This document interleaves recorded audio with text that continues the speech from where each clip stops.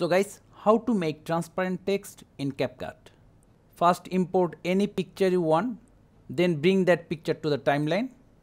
Go to video, then basic, scroll down, check the canvas, click on the drop down, select the color, give it some space, select the black color, scale it down to like 20%, then left click, hold, bring the picture out of the screen our sample video is 40 second long. So stretch the picture to 14 second.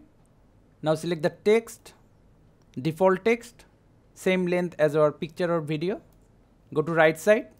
Let's put our text. Broke. Make it bold. Increase the font size. Suppose we are okay with this. Now select both layer. Right click.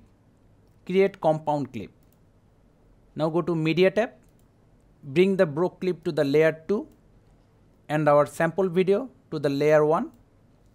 Now select the broke layer, go to video, basic, blend, click on the drop down.